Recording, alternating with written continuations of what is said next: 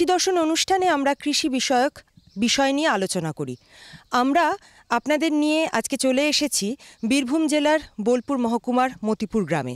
আমাদের সঙ্গে আছেন এই অঞ্চলের কৃষক বন্ধুরা, যারা তাদের কৃষি সংক্রান্ত বিভিন্ন সমস্যা নিয়ে হাজির আছেন। আর এই সমস্ত সমস্যার সমাধানের জন্য আছেন কৃষি বিশেষজ্ঞ হিসেবে ডক্টর অরিন্দম চক্রবর্তী সহ কৃষি অধিকর্তা বোলপুর। প্রথমেই চলে যাব একজন কৃষক বন্ধুর কাছে, জানব তার কি জিজ্ঞাসা। বলুন। আপনার নাম? নমস্কার। আমার প্রশ্ন হচ্ছে যে আলুতে ঘন ঘন বৃষ্টির ফলে এক জাতীয় ঘুরঘুরে পোকা লাগছে। হুম এর বিকল্প মানে এটাকে বন্ধ করার জন্য কি উপায় বার করা যায়? আপনি এই যে ঘুরঘুরে পোকা যে লাগছে সেটা কি সব গাছগুলোই আক্রান্ত হয়েছে দেখেছেন? গাছই এটা হচ্ছে। কিছু ওষুধ দিয়ে জন্য মাটি ওই রসে যাচ্ছে রসা থাকার জন্য এটা বেশি হচ্ছে। কিছু ওষুধ ব্যবহার করেছিলেন? না আমি এ পর্যন্ত কোনো ওষুধ ব্যবহার করিনি। সমস্যার সমাধানও হয় না সমস্যার সমাধান কিছু করতে পারিনি। মানে পাকা ফসলে তো কিছু ব্যবহার করাটা ঠিক হয় না বলে আমি ঠিক ব্যবহার করতে পারিনি। সমস্যাটা তো জানলাম কিন্তু আপনার নামটা জানা হয়নি। আমার নাম সুব্রত পাল মতিপুর। সুব্রতবাবুর যে সমস্যা হয়েছে তার সমাধান আমরা জানব আমাদের বিশেষজ্ঞের কাছ থেকে। আলুর ক্ষেত্রে যে দেখা যাচ্ছে যে আমরা বিভিন্ন সময় বৃষ্টি হওয়ার জন্য বা বৃষ্টি হলে আসলে আমরা বুঝতে পারি পোকাগুলো বেরিয়ে আসে বলে। এমনিতেই আলুতে কাটুই পোকা বা ঘুরঘুরি পোকা আজকে বেশ কিছুদিন ধরে দেখা যাচ্ছে। এর জন্য যেটা আমাদেরকে করতে হবে যে আলু চাষের সময়তেই আমরা যখন চাষ করি বা তারপরে যখন ভেলি বাঁধি, তখন যে কোনো ধরনের দানা বিষ আমরা গোড়াতে দিতে পারি, বিশেষ করে যদি ক্লোরোপাইরিফস গ্রুপের যেসব ওষুধ আছে, সেগুলি যদি আমরা প্রয়োগ করি, তাহলে কিন্তু এই ঘুরঘুরি পোকার হাত থেকে অনেক আগে আমরা নিষ্কৃতি পাবো। যখন বৃষ্টি হয়, তখন এই পোকাগুলো বেরিয়ে আসে বলেই মনে হয় যে বোধহয় পোকাগুলো বৃষ্টির জন্য এসছে। এটা অ্যাকচুয়ালি শুকনো মাটিতে আলুর জমিতে ঝুরঝুরে মাটির মধ্যে ঢুকে থাকে এবং আলু কেটে আলুর ধ্বংস করে দেয়। এর জন্য আমরা আগে থেকেই দিতে পারি। এছাড়া যাদের এই আক্রমণ যাদের মাঠে বেশি হচ্ছে, তারা ওই যে ওষুধ আমি বললাম, ক্লোরোপাইরিফসের যদি দানা আগে না ব্যবহার করে থাকেন, তাহলে ক্লোরোপাইরিফস গ্রুপের এমনি যেসব লিকুইড ওষুধ আছে, যেমন ডার্সবান ক্লাসিক ইত্যাদি নামে, এগুলো দু মিলিলিটার প্রতি লিটার জলে দিয়ে প্রয়োগ করলে কিন্তু এর সুফল পাওয়া যাবে। গোড়ার দিকে, আলু জমির গোড়ার দিকে প্রয়োগ করতে হবে। যদি পারা যায়, তাহলে ড্রামে এক চামচ সার্ফ এক্সেল বা ভালো কোনো সাবান গুঁড়ো দিয়ে মিশিয়ে যদি আমরা প্রয়োগ করি তাহলে আমরা কিন্তু এর থেকে সুফল পাবো। সমাধানের চমৎকার পথ দেখিয়েছেন কৃষি বিশেষজ্ঞ পরবর্তী কৃষক বন্ধুর কাছে যাচ্ছি। আপনার নাম? আমার নাম নারায়ণচন্দ্র ঘোষ। কত বছর ধরে চাষবাসের সঙ্গে জড়িয়ে আছেন? আজ মোটামুটি চল্লিশ বছর থেকে। চল্লিশ বছর? এই চল্লিশ বছরে তো অনেক পরিবর্তন এসেছে কৃষির কাজে। সেটা কীরকম লাগছে আপনার? সেটা কী লাগবে? এই তো দেখতে পেয়েছেন এই যে পেঁয়াজ লাগিয়েছি। পেঁয়াজের যা অবস্থা তাতে তো আমরা ওষুধ দিয়েও তো কিছু করতে পারছি না। কতটা জমিতে পেঁয়াজ লাগিয়েছেন? কাটা তিনেক বাটে। কি সমস্যা হয়েছে বলুন? এই পোকা এই লেদা পোকা তারপর শোয়া পোকা এর এই যে পাতাগুলা খেয়ে যাচ্ছে তারপরে গোড়ার দিকে চলে আসছে। তাতে তো আমরা বাঘ কিছুই করতে পারছি না। তা এটা কি করা যায় সেটা আপনারা একটু কতগুলো গাছ মোটামুটিভাবে আক্রান্ত হয়েছে? তা মোটামুটি অনেক? অনেকে হয়েছে অনেকেই কোনোভাবেই কিছু সম্ভব হচ্ছে না। না। কৃষক বন্ধুর পেঁয়াজ গাছ সংক্রান্ত সমস্যার কথা তো আমরা জানলাম। বিশেষজ্ঞের কাছ থেকে জেনে নেব যে কি করে গাছগুলোকে বাঁচানো যায়।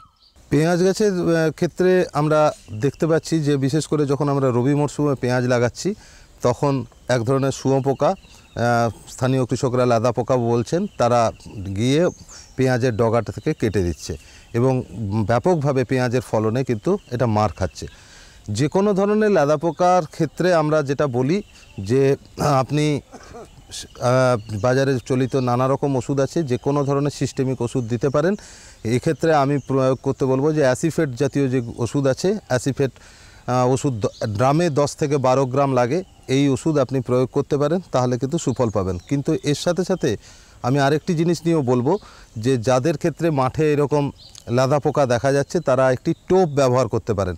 কিন্তু লাদা পোকারা সাধারণত দেখা যায় যে, এরা দিনের বেলা মাঠে কম থাকে, এরা রাত্রেবেলা আসে। এবং যে আমাদের ধানের ক্ষেত্রেও দেখবেন, ধানের ক্ষেত্রেও শীষ কাটা লেদা পোকা আমরা বলি। আমরা দুপুরবেলা ওষুধ প্রয়োগ করি, কিন্তু তাতে কিন্তু কোনো কাজ সুফল পাই না। যেন সুন্দর করে করাত দিয়ে বা কাঁচি দিয়ে কেটে নিয়েছে এরকম মনে হয়।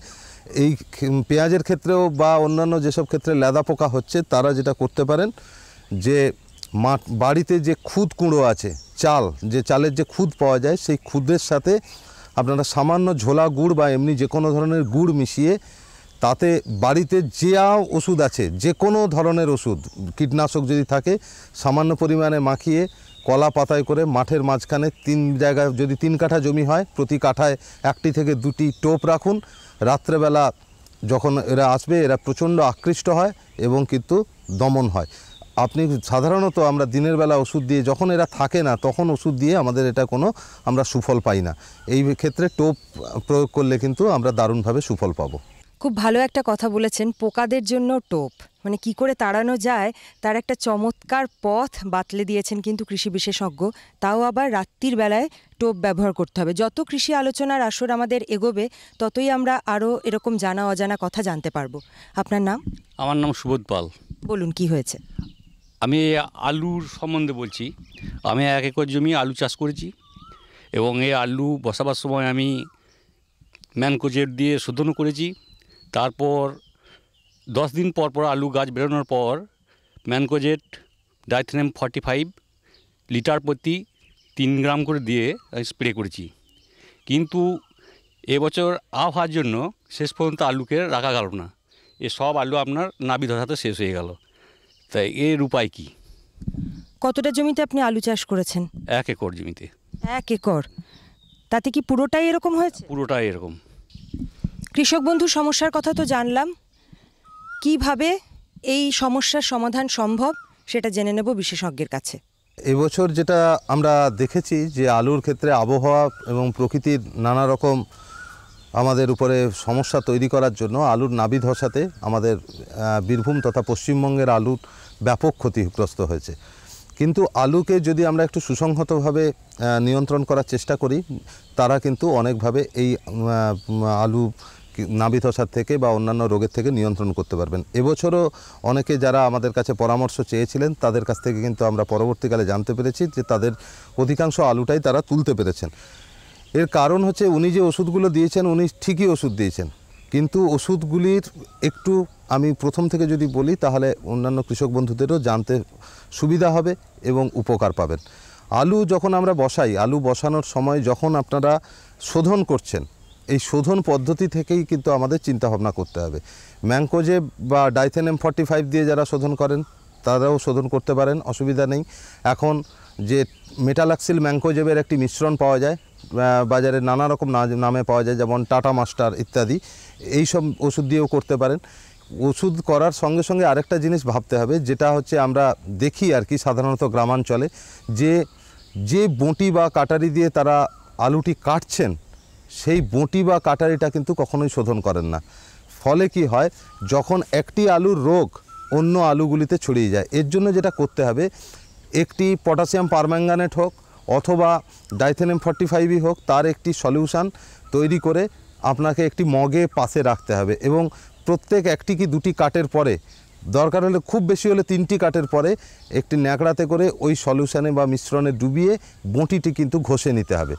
এটার যদি না করি, তাহলে কিন্তু আমরা যতই শোধন করি, তাহলেও কিন্তু আলুর শোধনটা সম্পূর্ণ হয় না। দ্বিতীয় কথা হচ্ছে, যে পাত্রে জল রেখে শোধন করছেন, আমরা কি করি? তাতে আলুটা দেওয়ার পরে আমরা এক বস্তা আলু হয়তো শোধন করার পরে আমরা তিনবার সেই জলটার উপরে শেষ হয়ে তলানি যখন হয়ে গেছে, আমরা নতুন জল ঢেলে দিই। কিন্তু মিশ্রণটা প্রতিবারেই, জল তো কাছেই আছে। ওষুধও আবার একশো গ্রাম ওষুধ আমরা চল্লিশ লিটারের জলের এতে আমরা আবার ঢেলে দিচ্ছি। ওই জলটা কিন্তু ওই রোগ মিশ্রিত জলটা কিন্তু যেখানে শোধন করছি, স্বাভাবিকভাবে সেখানে রোগ মিশ্রিত অবস্থা তৈরি হচ্ছে। সেই জলটা কিন্তু ফেলে দিতে হবে। এই দুটো জিনিস করার সাথে সাথে যখন আলু বীজ বসাই, তখন আমাদের চেষ্টা করতে হবে যে সুস্থ, সবল যেসব আলু আলু বীজ নিয়ে নানা রকম সমস্যা থাকে, সেই রকম করে যদি আমরা বসাই, তাহলে কিন্তু অনেকটা নিয়ন্ত্রণ পাবো। এরপরে মূল জমির কয়েকটি বিষয় আমার বলার আছে। যেমন হচ্ছে দেখুন, প্রকৃতি, এখন আমরা দেখতে পাচ্ছি যে তিন চার বছর অন্তর অন্তর এরকম মারাত্মক ধসার আক্রমণ হচ্ছে। অন্যান্য বছরে নিয়ন্ত্রণ করা যাচ্ছে কোনো কোনো বছর করা যাচ্ছে না। এর কারণ হচ্ছে যে আমরা তো ঠিক বুঝতে পারছি না যে কোন বছর প্রকৃতির কি অবস্থা হবে, তার জন্য আমাদেরকে কয়েকটি পন্থা মেনে চলতে হবে। যেমন আমরা যখন প্রথম কানিমাটি, প্রথম মাটি ধরাই তখন থেকে দ্বিতীয় মানে যখন আমাদের জানুয়ারি মাসের প্রথম সপ্তাহে যদি দেখেন, প্রথম সপ্তাহ থেকে যদি কুয়াশা দেখতে পান, তাহলে অবশ্যই কিন্তু ব্লাইটক্স জাতীয় ওষুধ, যেটা কপার অক্সিক্লোরাইড চার গ্রাম প্রতি লিটার জলে প্রয়োগ করতে হবে। ব্লাইটক্স অনেকে বলেন যে দামি ওষুধ, যদি ব্লাইটক্স না হয়, তাহলে আমাদের উনি যেটা দিয়েছিলেন ডাইথেনেম ফর্টি ফাইভ সঙ্গে ম্যাঙ্কোজেব এইটির একটি মিশ্রণ তৈরি করে ওই সময় প্রয়োগ করতে হবে। আর যদি দেখেন যে কুয়াশা নেই ভালো আছে, তাহলে দ্বিতীয় সপ্তাহে যখন আপনি চল্লিশ দিনের মাথায় যখন দ্বিতীয় কানি মাটি দিচ্ছেন, ভেলির উপরে মাটি চাপাচ্ছেন, তখন ওষুধ দিতে হবে। তখন ওষুধ দিতে গেলে আপনারা সরাসরি ডাইথেনেম ফর্টি ফাইভ দিতে পারেন, অথবা অন্যান্য নানা রকম এখন ওষুধ এসেছে। যেমন আমি একটু আগে যে ওষুধটি বললাম, যে মেটালাক্সিল ম্যাঙ্কোজেবের মিশ্রণ, এই ওষুধটি দিতে পারেন। এইগুলি সবকটাই দু থেকে আড়াই গ্রাম প্রতি লিটার জলে এছাড়া যদি দেখেন যে আলুর ধসা তারপরেও লেগে গেছে, তাহলে কিন্তু ডাইমিথোমফ বা বাজারে নানা রকম নামে পাওয়া যায় কবচ শালবক ইত্যাদি নামে পাওয়া যায়। এগুলি এক থেকে দেড় গ্রাম প্রতি লিটার জলে দিতে হবে। দেওয়ার কারণ হচ্ছে আলুর ক্ষেত্রে এত মনে রাখা বা দেওয়ার কারণ হচ্ছে আলু হচ্ছে হাই ইনভেস্টিভ ক্রপ, অর্থাৎ প্রচুর পয়সা আলুতে খরচা হয়, আলুতে টাকাও সেরকম ওঠে। কিন্তু আলুর ক্ষেত্রে কিন্তু সুসংহত নিয়ন্ত্রণ না রাখলে হয়তো কোনো বছর হচ্ছে না, কোনো বছর হয়তো সাধারণ ডাইথেনেম ফর্টি ফাইভ দিয়েই আমার কাজ হয়ে গেছিল। আমরা সেইটার উপরে ভরসা না করে আমরা যদি যখন দেখছেন যে আলুতে ব্যাপক হারে ধসা লাগছে, তখন কিন্তু পরামর্শ নিন অথবা এই রকম পরামর্শ অনুযায়ী আলুকে নিয়ন্ত্রণ করুন, তাহলে কিন্তু আলু থাকবে। এবছরও কিন্তু যারা করেছেন, আমি নিজে গিয়ে দেখেছি তাদের কোনো কোনো ক্ষেত্রে কাঠাতে চার থেকে পাঁচ ব্যাগ পর্যন্ত আলু হয়েছে। এবং কারও কারও আরও বেশি হয়েছে। সুতরাং ভবিষ্যতের জন্য যদি পরিকল্পনা ঠিক করে রাখেন আলুতেও কিন্তু ফলন আমরা সুনিশ্চিত করতে পারব। হুম হ্যাঁ কি করি হ্যাঁ হ্যাঁ ঠিক এরকমই হবে। এক মিনিট এই শোনো আসছি আমি। হ্যাঁ হ্যাঁ ঠিক ঠিক। হ্যাঁ হ্যাঁ। ঠিক আছে একদম। হ্যাঁ হ্যাঁ ঠিক আছে। আচ্ছা আচ্ছা। কার সঙ্গে কথা বলছিলে? এত হেসে হেসে? আরে বাবা কিষান কল সেন্টার বিশেষজ্ঞের সাথে চাষের ব্যাপারেই কথা বলছিলাম। সকালেও? দুপুরেও? আরে বাবা কিষান কল সেন্টার তো সকাল ছটা থেকে রাত দশটা অবধি খোলা। রোববারেও? হ্যাঁ গো বছরে তিনশো পঁয়ষট্টি দিন। এত ফোনের বিল কে দেবে? আরে বাবা কিষান কল সেন্টারের পরিষেবা সম্পূর্ণ বিনামূল্যে। কিন্তু তুমি এগুলো জিজ্ঞেস করছ কেন? আমি তো অন্য কিছু ভাবছিলাম। কৃষক ভাইরা, কৃষিকাজ সংক্রান্ত সমস্যার নিজের ভাষায় তাড়াতাড়ি সমাধানের জন্য ভারতের যে কোনো ফোন থেকে রাষ্ট্রীয় হেল্পলাইন নম্বর এক আট শূন্য শূন্য, এক আট শূন্য এক পাঁচ পাঁচ একে যোগাযোগ করুন। কৃষকের বন্ধু, কৃষকের কল সেন্টার। বীরভূম জেলার বোলপুর ব্লকের মতিপুর গ্রাম, আমাদের সঙ্গে আছেন এই অঞ্চলের কৃষক বন্ধুরা, যারা তাদের কৃষি সংক্রান্ত সমস্যার কথা জানাচ্ছেন, আর সমাধান পথ দেখাচ্ছেন কৃষি বিশেষজ্ঞ ডক্টর অরিন্দম চক্রবর্তী। নমস্কার আপনার নাম? নমস্কার আমার নাম অজয় পাল। কি হয়েছে বলুন? প্রশ্ন ছোলা কলাইয়ের গাছের ছুটি ধরছে না এবং ফলগুলো পোকাতে ছিদ্র করে দিচ্ছে তার প্রতিকারের উপায় জানার জন্য আমি প্রশ্ন রাখছি। কৃষক বন্ধুর যে সমস্যা হয়েছে তার সমাধানের কথা আমরা জানব বিশেষজ্ঞের কাছ থেকে। হ্যাঁ ডাল শস্যের ক্ষেত্রে আমরা দেখেছি যে ডাল শস্যে মূলত যে পোকাগুলি আসে সেগুলি সাধারণত ছিদ্র করার বিভিন্নভাবে ডালকে ফসলকে বা সুঁটিকে ছিদ্র করে। হ্যাঁ, মানে খুব লোভনীয় জিনিস তো স্বাভাবিকভাবে পোকারাও চেষ্টা করে ভিতর থেকে করে ভেতরের যে শস্যল অংশটি বা বীজটি সেটিকে কিন্তু নষ্ট করে। ডালের এই ছিদ্রকারী পোকার হাত থেকে বাঁচতে গেলে আমাদেরকে চেষ্টা করতে হবে যে সাধারণত যেসব সিস্টেমিক ওষুধ আছে, বাজারে নানা রকম সিস্টেমিক ওষুধ পাওয়া যায়, সেই যে কোনো একটি কেমিক্যাল সিস্টেমিক ওষুধ দিতে পারেন, অথবা যদি জৈব পদ্ধতিতেও কেউ করতে চান, তাহলে কিন্তু নিমঘটিত ওষুধ তারা প্রয়োগ করতে পারেন। এখন আরও নানা রকম বাজারে জৈব কীটনাশক এসছে, সেগুলিও প্রয়োগ করতে পারেন। যদি রাসায়নিকভাবে তারা প্রয়োগ করেন তাহলে যদি প্রাথমিক অবস্থায় যখন সুঁটি আসছে, তখনই যদি দেখেন যে একটি দুটি সুঁটিকে ভেঙে যদি দেখতে পান, অন্তত এক হাত বাই এক হাতের মধ্যে যদি দেখতে পান যে চার পাঁচটি পোকা আপনাদের ওখানে আসছে, তাহলে ফসফোমিডন গ্রুপের কোনো ওষুধ দিতে পারেন। খুব কাজ করে, খুব সুন্দর কাজ করে। অথবা ক্লোরোপাইরিফস, এই ওষুধটিও কিন্তু খুব সাধারণ মানের মানে খুব দাম বেশি নয়, কিন্তু প্রয়োগ করলে ভালো উপকার পাওয়া যাবে। বয়সে প্রবীণ এবং নবীন দুজন কৃষক বন্ধু আছেন এই মুহূর্তে। দুজনের হাতেই মুসুরি কলাই আছে। দেখি একই সমস্যা কিনা। আপনার নাম? আমার নাম মোহনচন্দ্র মণ্ডল। অনেক বছর ধরে তো চাষবাস করছে চাষবাস করছি। তখন তো এমনি বুনে দিতাম হয়ে যেত কিন্তু এখন যত আধুনিক আছে যত পদ্ধতি হচ্ছে সেগুতে কলাই বুনছি তাও তো তাও এই ধরনের হয়ে যাচ্ছে। কি হয়েছে? মুসুরি কলাই ঝাই আসছে কিন্তু যখন গাছ বেরিয়েছে লাল হয়ে যাচ্ছে কত মরে যাচ্ছে। এটাও হচ্ছে। আচ্ছা আপনার নাম বলুন। আমার নাম শিবপ্রসাদ মণ্ডল। আপনার কি হলো? আমার এই যে কলাই যে চাষ করেছি আমি মোটামুটি ধরুন এক বিঘার মতো বটে হ্যাঁ কিন্তু কলাই যে মানে প্রথম যখন বুনি তখন ওই সার দেওয়ার পর শুকনো বীজ ছড়িয়ে জল দেওয়া হয়েছিল। তারপরে আস্তে আস্তে দেখছি গাছগুলো বেরিয়েছে আর লাল হয়ে যাচ্ছে আর এই ঝাইয়ের মতো হয়ে যায় ফুটি কম হচ্ছে হ্যাঁ। দুজনের সমস্যা শুনে নিয়েছি। বিশেষজ্ঞের কাছে চলে যাব। ডাল শস্য, বিশেষ করে মসুরি কলাই নিয়ে আজকাল নানা রকম সমস্যা তৈরি হয়েছে। আমাদের যিনি প্রবীণ কৃষক আছেন, তিনি ঠিকই বলেছেন যে আগে বুনলে হয়ে যেত, কিন্তু এখন যত দিন যাচ্ছে এটার সমস্যা আসছে। ভালো ফলন বৃদ্ধির সঙ্গে সঙ্গে আমরা ফলন বৃদ্ধি করতে গিয়ে যে নানা রকম প্রয়োগ করেছি নির্বিচারে, সেই প্রয়োগের নানা রকম কুফলও কিন্তু আসবে। আমরা মাটিতে যেভাবে সার ব্যবহার করতে বলা হয়েছে তার থেকেও সাধারণভাবে নিজেরা যেসব ব্যবহার করেছেন, যেসব রাসায়নিক ব্যবহার করেছেন, এসবের কুফল কিন্তু দিনে দিনে আসছে। যে কোনো ধরনের ডাল শস্য আমরা সাধারণত ওই বুনে দিই, এরকম হচ্ছে যতটা এরকম করেই করি। আমরা যদি খুব যত্ন নিয়ে ডাল শস্যের চাষ করি, তাহলে কিন্তু ডাল শস্যে এইসব সমস্যাগুলি আসে না। বিশেষ করে মসুরি কলাই আমাদের বীরভূম জেলাতে খুব ভালো ফলন হয়। মুসুরি কলাইয়ের জন্য আমাদেরকে যেটা করতে হবে যে আমরা যখন জমি ফাঁকা থাকে তখন চুন বা ডলোমাইট জাতীয় পদার্থ দিয়ে মাটিটি কিন্তু শোধন করে নিতে হবে। বীরভূম এমনিতেই অম্লত্ব প্রবণ মাটি, কিন্তু ধান বা অন্যান্য যেসব ফসল অম্লত্বকে তবু কিছুটা সহ্য করতে পারে, কিন্তু ডাল শস্যের পক্ষে এটা খুব অসুবিধাজনক হয়ে যায়।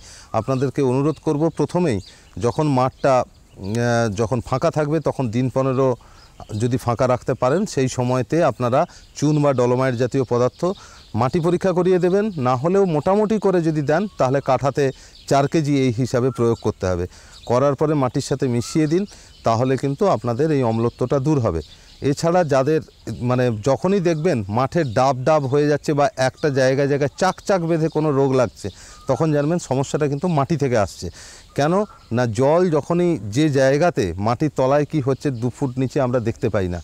সেই জায়গাতেই কোথায় যে জলের এ গিয়ে জমা হচ্ছে এবং কোথায় যে শক্ত হয়ে গেছে, সেইটার জন্যই কিন্তু মূলত এই সমস্যাটা দেখা যায়। আর এই ঝাঁই লাগা যদি, তাও যদি লেগে যায় তার পরবর্তীকালে এটা একটি ছত্রাকঘটিত সমস্যাও তৈরি হয়। এই সমস্যার জন্য আপনারা সাফ যে পাউডার বাজারে পাওয়া যায়, আপনার কার্বেন্ডাজিম ও ম্যাঙ্কোজেবের মিশ্রণে এই সাফ জাতীয় ওষুধ দু গ্রাম প্রতি লিটার জলে দিয়ে প্রয়োগ করতে পারেন, তাহলে কিন্তু আপনারা অবিলম্বে সুফল পাবেন।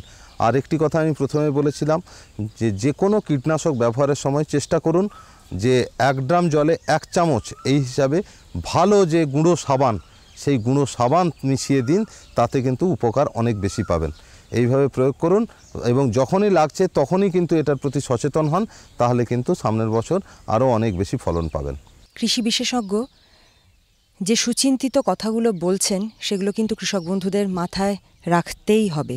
না হলে কিন্তু কৃষিকাজের ব্যাপারে যে সমস্যাগুলো আসছে তাদের সেগুলো কিন্তু কোনোভাবেই রোধ করা সম্ভব হবে না। আরও একজন কৃষক বন্ধু আছেন। আপনার নাম? ব্রণপাল বলুন কি হয়েছে? নমস্কার। আমার সর্ষের জমিতে সমস্যা। সর্ষে দীর্ঘ কয়েক বছর ধরেই করছি কিন্তু ওই সর্ষের যেটা পুকুর পার সেখানের থেকে জমিতে সমস্যাটা বেশি। জমিতে ধরুন উল্টো পাল্টাভাবে চাষ করলেও ওই শিকড় থেকে একটা ওই টিউমার জাতীয় আসছে। এবং ওটা জো মানে যেটা আমরা আবাদ বলি ওইটা করে যদি বোনা হয় তারপরে যদি ওটাকে ঝিটিনি যেটা বলে ছেটন দেওয়া জলটা সেটা দিলে কিছুটা উন্নতি ধরেন হয়। কিন্তু আমাদের সেই সময় চাষের বা কাজের যা সমস্যা বা লেবার যা সমস্যা সেটা করা সম্ভব হয় না।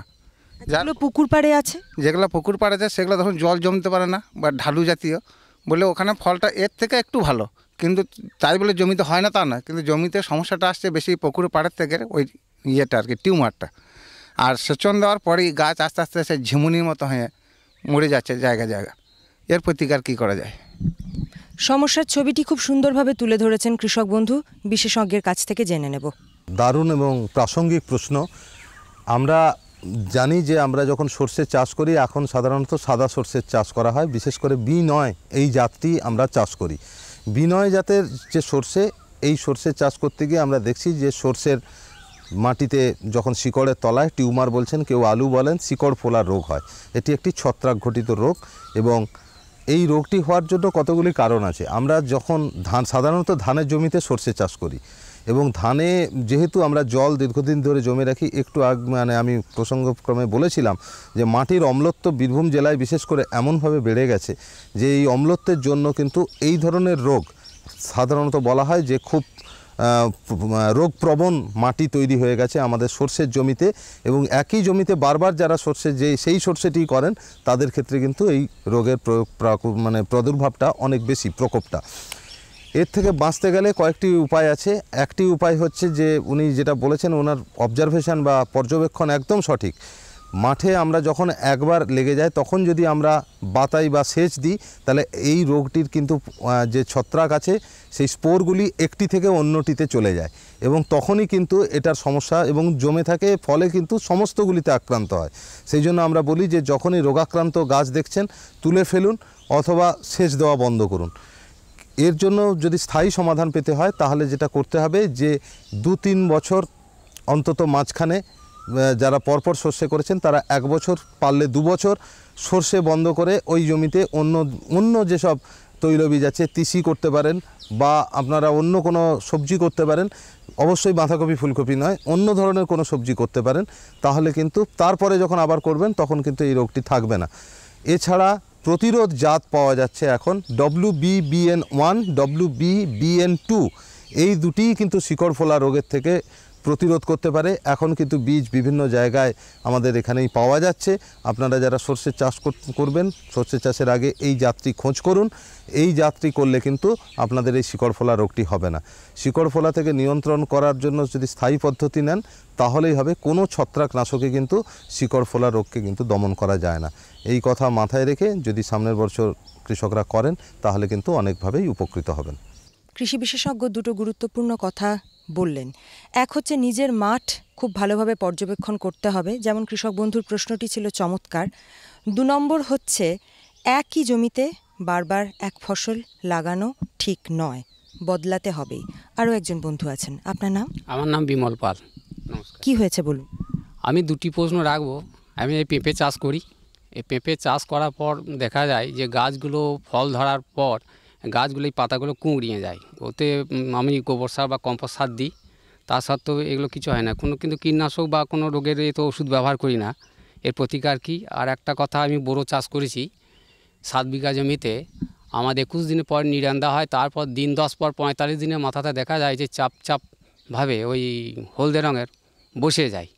তা এর ওষুধ বা কী দেওয়া যায় আর কি এর প্রতিকার হয়?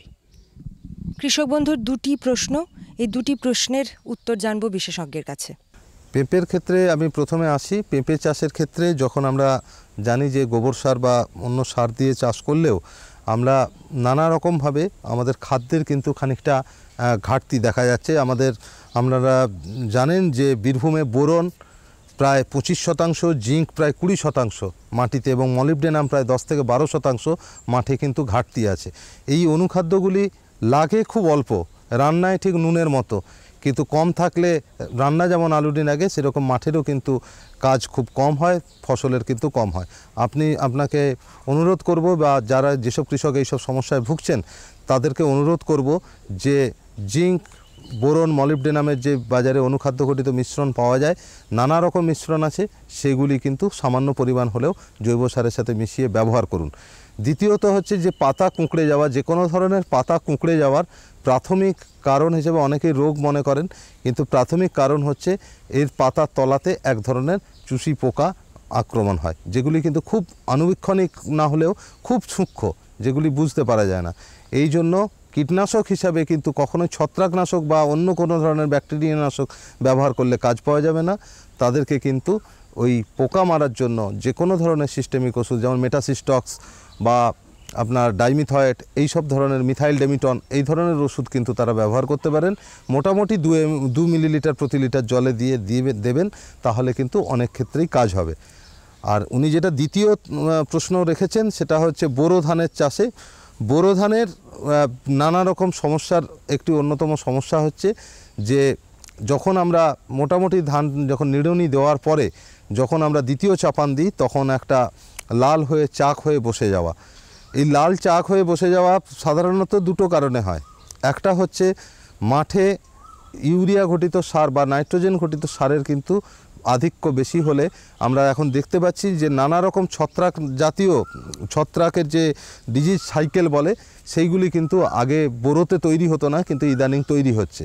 দ্বিতীয় কথা হচ্ছে, মাঠের অম্লত্বের পরিমাণ কিন্তু আপনার, যেহেতু আপনি বোঝাই যাচ্ছে খারিফ ধান, বোরো ধান, দুটি ধান করেন, আপনার মাঠে কিন্তু অনেক পরিমাণে বেড়ে যাচ্ছে। আপনি কিন্তু অবিলম্বে খরার চাষ দেওয়ার আগে বা যখন আপনি ফাঁকা পাবেন, আগামী মরশুমে বোরো ধান কাটার পরে, তখন কিন্তু মাঠটিকে খালি রেখে আপনি কিন্তু অম্লত্ব দূর করার জন্য অবশ্যই চুন বা ডলোমাইট জাতীয় পদার্থ প্রয়োগ করুন। আর এই সব ক্ষেত্রে যখন আপনার লাল হয়ে বসে যাচ্ছে তখন ট্রাইসাইক্লাজোল গ্রুপের যেসব ওষুধ আছে বিম বান ট্রুপার এইসব নামে বাজারে পাওয়া যায়। এই ওষুধগুলি কিন্তু আপনি দেড় থেকে দু এম প্রতি লিটার জলে দিয়ে প্রয়োগ করুন আপনি কিন্তু সুফল পাবেন। মতিপুর গ্রামের কৃষক বন্ধুদের প্রশ্নগুলো যেরকম আলাদা কৃষি বিশেষজ্ঞের উত্তরগুলোও কিন্তু ঠিক ততটাই আলাদা। আরও একজন বন্ধু আছেন আপনার নাম? আমার নাম মানিক লোহার। কি হয়েছে বলুন? এই এখন তো তিল চাষের মৌসুম চলছে এবং কীভাবে তিল চাষ করলে আমরা আশারূপ ফলন পাবো এটা সেই জানা। আপনি লাগিয়েছেন কতটা জমিতে? আমি এখন এক বিঘে জমিতে তিল লাগিয়েছি। এর মধ্যে কি কিছু সমস্যা শুরু হয়েছে? তো চারা এখন বের হচ্ছে এখন কোনো সমস্যা হয়নি। তা যদি সমস্যা হলে কীভাবে কোন পদ্ধতিতে ব্যবহার করলে আমি আশারূপ ফলনটা পাবো? তিল চাষ করবেন করছেন কৃষক বন্ধু। কীভাবে তিল চাষকে ভালোভাবে করা যায় এবং ভালোভাবে ফসল যাতে উঠে আসে সেই বিষয়ে উনি জানতে চান বিশেষজ্ঞের কাছে। তিল চাষ আমাদের প্রাক্ষারিক মরশুমের একটা অন্যতম চাষ, এটা একটি তৈলবীজ সাধারণত তিল চাষ যারা করেন, তাদের ক্ষেত্রে আমরা বলি যে, একর প্রতি অন্ততপক্ষে চব্বিশ বারো বারো এই হিসাবে নাইট্রোজেন ফসফেট পটাশ এই সারটি আপনাদেরকে দিতে হবে। তিল চাষের সাথে জৈব সার যতটা পারেন বেশি দেবেন, কেন তিল মাটি থেকে খাবার কিন্তু অধিকাংশ সংগ্রহ করে নেয়। মাটিকে কিন্তু রিক্ত করে ছাড়ে। সুতরাং তিলের ফলন যদি পেতে চান, যতটা সম্ভব জৈব সার বাড়ান রাসায়নিক সারের সঙ্গে বৈষম্য কমিয়ে। আর ভালো জাতের বীজ সংগ্রহ করুন, যেমন রমা, তিলোত্তমা, এগুলি কিন্তু খুব ভালো জাত। এই জাতগুলি সংগ্রহ করুন। থাইরাম বা ক্যাপ্টান জাতীয় ওষুধ দিয়ে প্রতি কেজিতে তিন গ্রাম মাত্র ওষুধ লাগে। দিয়ে বীজ শোধন করে বসান, এই লাগ ফেলুন, তাহলে কিন্তু তিলের ফলন ভালো পাবেন। আর নাইট্রোজেন ঘটিত সার সম্পূর্ণভাবে না পারলেও কিছুটা কমান। না কমালে কিন্তু যখন তিলের ফুল আসে তখন গাছ এত নরম থাকে, সেই সময় কালবৈশাখী হলে অধিকাংশ সময় ঝরে যাচ্ছে। এইগুলি কিন্তু মাথায় রেখে যদি চাষ করেন, আপনার ফলন অত্যন্ত ভালো হবে। বীরভূম জেলার বোলপুর মহকুমার মতিপুর গ্রাম, আজ আমরা এখানেই এসেছিলাম কৃষি আলোচনার আসন নিয়ে। আমাদের সঙ্গে ছিলেন এই অঞ্চলের অনেক কৃষক বন্ধু, যাদের মধ্যে কয়েকজন বয়সে প্রবীণ, বেশ কয়েকজন বয়সে নবীন। তারা তাদের সুন্দর সুন্দর প্রশ্নে সাজিয়ে এনেছিলেন। তাদের সমস্যার কথা মন খুলে জানালেন। আমাদের সঙ্গে ছিলেন কৃষি বিশেষজ্ঞ হিসেবে ডক্টর অরিন্দম চক্রবর্তী, যিনি সমাধানের পথটা খুব সুন্দর করে সহজভাবে বুঝিয়ে দিয়েছেন। ধন্যবাদ জানাই আমাদের কৃষি বিশেষজ্ঞকে। সেই সঙ্গে ধন্যবাদ আমাদের সমস্ত কৃষক বন্ধুদের। আজকের কৃষি আলোচনার আসর তো হলো। কিছুটা জানা হলো এখনও অনেকটা বাকি। নিশ্চয়ই আমরা আগামী দিনে আবার কৃষি আলোচনার আসন নিয়ে আসব আপনাদের সামনে।